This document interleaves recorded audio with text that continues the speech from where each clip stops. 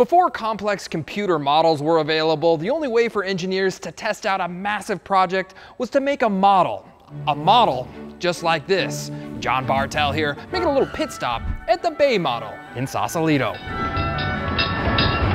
In the 1940s and 50s, San Francisco was looking for a more reliable source of fresh water, and of all people, actor and theatrical producer John Reber came up with a wild idea to build two dams in the San Francisco Bay to keep out salt water. And his idea was to convert these into reservoirs right, freshwater reservoirs. U.S. Army Corps of Engineer Park Ranger Linda Holmes says converting the salty bay into a freshwater reservoir would have been the largest civil works project in the country's history, and also would have drastically reshaped the Bay Area. So just this way, the San Rafael Richmond Bridge would have been a dam, and roughly where the Bay Bridge would have been a dam.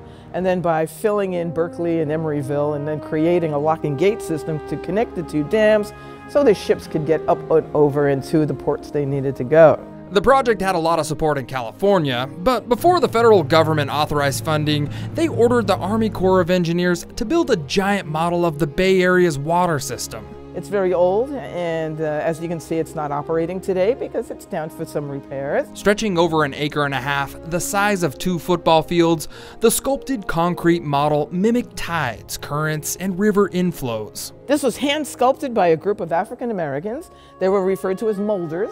I like to lovingly refer to them as sculptors. Back in the 1950s, building giant models like this one was the only way to see if giant water projects would actually work.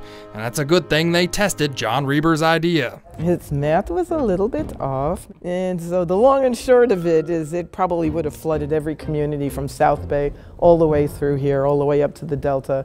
John Reber's idea was quickly scrapped, but the Bay model as it's known today found a new purpose. So it attracted scientists and engineers and, and uh, college professors and students from all over the state to request use of the simulator to test theories of their own. The Bay model was used by scientists and engineers all the way up to the year 2000 to measure the effects of drought, flooding, dredging, oil spills, and shoreline development. Computers have since replaced the need for the Bay model, but today it provides students and visitors with a visual of Northern California's water system. From the Bay Model Visitor Center in Sausalito, I'm John Bartell. Hope to see you on the back roads.